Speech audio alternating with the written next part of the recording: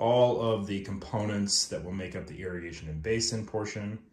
This is the 32 millimeter PVC that we use for irrigation, the four 90 degree joints and T-joints that we use to create irrigation around the edge, and then one irrigation channel through the middle here.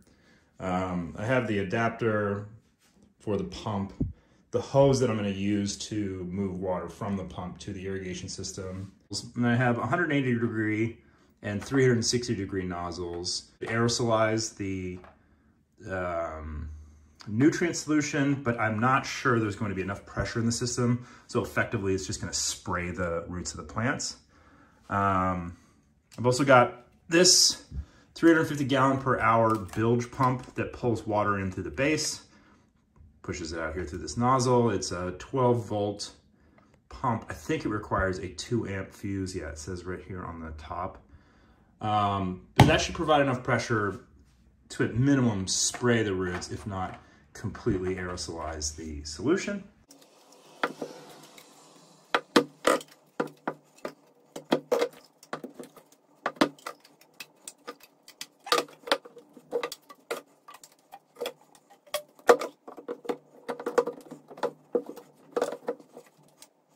Okay, the irrigation channels are complete. This should now fit very nicely down in the basin. It's a snug fit, but it's kind of what I wanted. Next step now is we're gonna drill holes, I think about five centimeters apart all the way across for our aerosol nozzles, which will move the water from the irrigation channels out towards the roots. I don't know if the camera's picking it up, but this is a little test of the nozzle. And it seems like they form a pretty good seal. So we're gonna go ahead.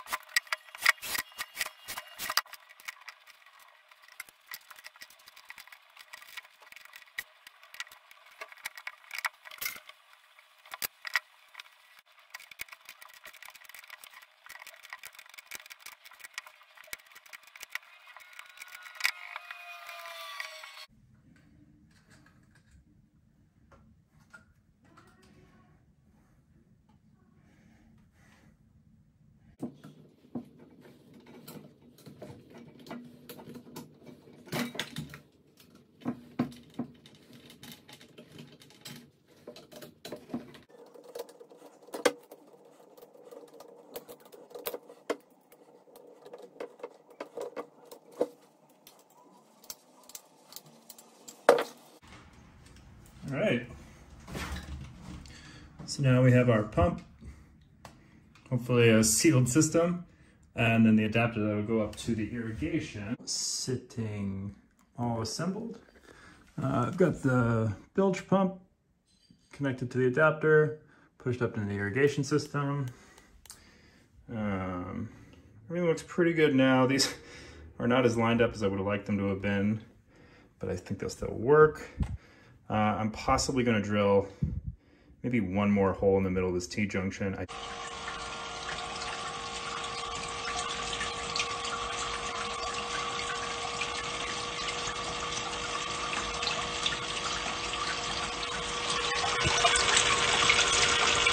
A bit of an anticlimactic moment. The 350 gallon per hour pump did not generate enough pressure to move the water through the system uh, and it out the nozzles effectively. So we're gonna replace the 350 gallon per hour pump with an 1100 gallon per hour pump, which I think should be sufficient. I also am no longer going to be cutting the PVC with this pipe saw, but instead got these really cool PVC cutters. So what we're gonna do is join the 1100 uh, gallon per hour pump to our irrigation system right now. Okay centimeters.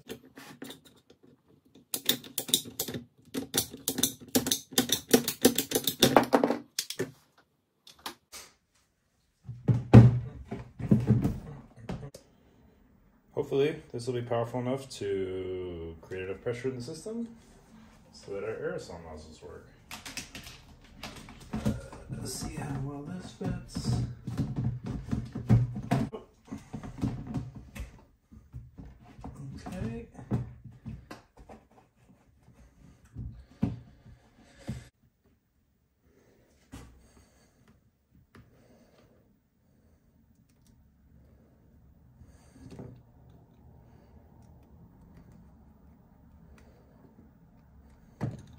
All right, let's see uh, how much pressure we have.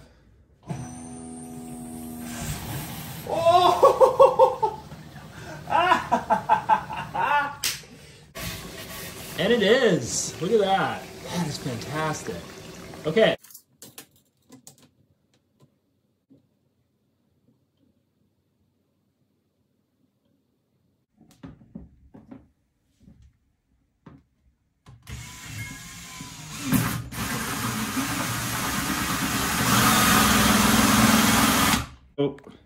Some success here, but I was leaning on the drill at one point and I, I broke through. Fortunately, it broke off in a pe whole piece. So I think I'm just going to remedy, oops, remedy that with a little bit of duct tape. But uh, seven out of eight, pretty good.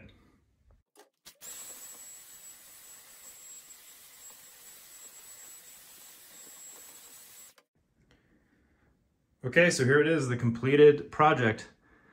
The functioning 1100 gallon per hour pump, the sealed channeling, all the spray nozzles are in place. The net pots are hanging down from the lid right over the irrigation channeling. I drilled a hole in the lid so the wiring can come out, but the lid still holds a seal. The duct tape repair job for my somewhat questionable drilling. And yeah, I'm pretty happy with how this turned out.